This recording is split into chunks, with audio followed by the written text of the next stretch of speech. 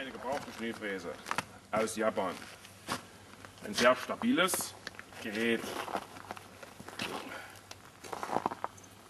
Äh, ein Viertakt Mitsubishi Motor, ein Schaltgetriebe mit drei Vorwärtsgängen, ein Rückwärtsgang, Lenkbremshebel, also eine Panzerlenkung rechts und links, eine Rückfahrsicherheitseinrichtung. Beim Rückwärtsfahren äh, geht die, da wird der Gang automatisch ausgeschaltet. Raubenkette und hydraulisches Heben und Senken des Auspuffkamins. Eine stabile Fließschnecke. Graugussgetriebe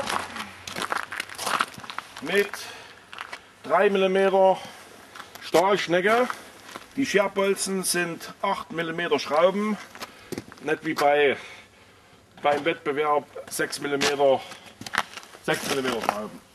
Das Gerät hat einen Elektrostab. Gut, das war es eigentlich in der kurzen technischen Beschreibung. Ich lasse das Ding mal los.